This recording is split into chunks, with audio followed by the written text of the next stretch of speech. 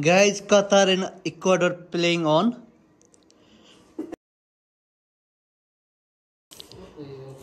Popcorn.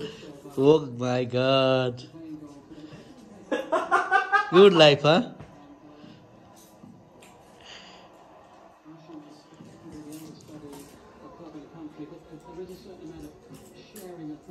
Bye.